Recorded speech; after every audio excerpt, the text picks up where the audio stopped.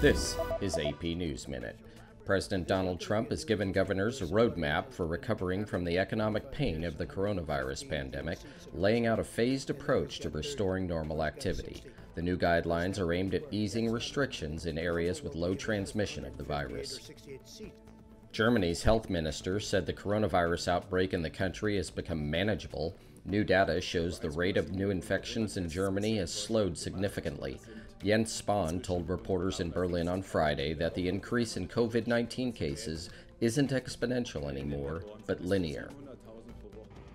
Singapore reported 728 new cases of the coronavirus on Friday, a record for a second straight day.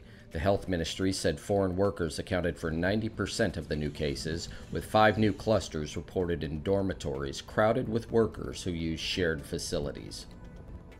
And in Italy, pro cyclist David Martinelli is trying his best to remain positive and has decided to help out his local community in Lodetto. He is now delivering medicines to people who can't get to the pharmacy themselves because of the lockdown. Ron Harris, Associated Press, with AP News Minute.